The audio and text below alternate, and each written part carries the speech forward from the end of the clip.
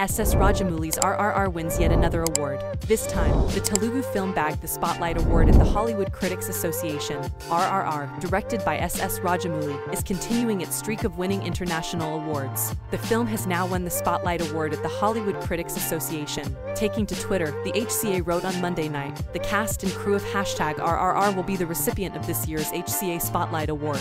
Hashtag HCA Film Awards hashtag RRR Movie. The cast and crew of RRR will be presented with the trophy at the 6th HCA Film Awards, being held in Los Angeles on February 24, 2023. Actor Angela Bassett and director Rian Johnson will also be honored on the same night.